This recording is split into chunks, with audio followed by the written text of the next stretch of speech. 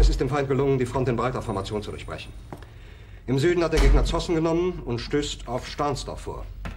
Der Feind operiert jetzt am nördlichen Stadtrand zwischen Frohnau und Pankow. Und im Osten ist der Feind bis zur Linie Lichtenberg-Marsdorf-Karlshorst gelangt. Mit dem Angriff Steiners wird das alles in Ordnung kommen. Mein Führer,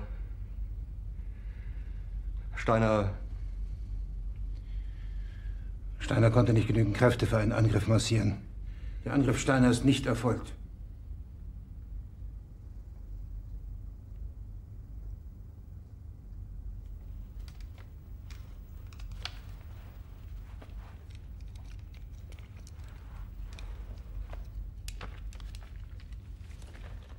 Es bleiben im Raum Keitel, Jodl, Krebs und Burgdorf.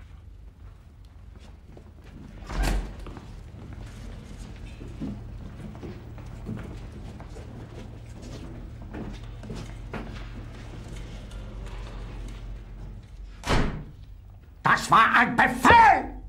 Der Angriff Steiners war ein Befehl! Wer schickt Sie? Dass Sie es wagen, sich mein Befehl zu widersetzen! So weit ist das also gekommen. Das Militär hat mich belogen! Jeder hat mich belogen, sogar die SS! Die gesamte Generalität ist nichts weiter als ein Haufen niederträchtiger, treuloser Feiglinge! Mein Führer, ich kann nicht zulassen, dass die Soldaten, die für Sie verbringen... Nicht als Feiglinge! Verreiter, Versager! Mein Führer, was Sie da sagen, ist ungeheuerlich. Die Generalität ist das Geschmeiß des deutschen Volkes! Sie ist ohne Ehre!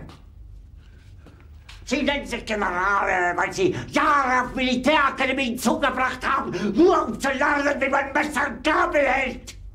Jahrelang hat das Militär meine Aktionen nur behindert! Es hat mir jeden nur ersichtlichen Widerstand in den Weg gelegt!